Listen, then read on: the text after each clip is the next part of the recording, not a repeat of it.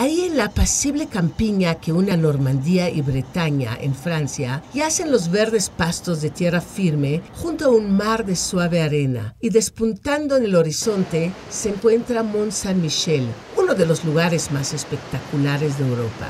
En esta isla rocosa de 80 metros de altura se construyó en el siglo X la abadía del mismo nombre, no por el capricho de los hombres, sino por mandatos del mismo arcángel Miguel al obispo Aubert de Avranches.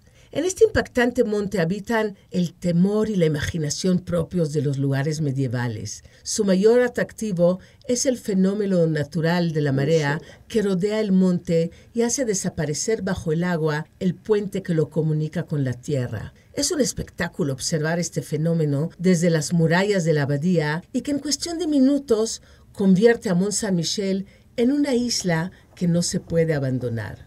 Con información e imágenes de Debbie Beard para Notimex.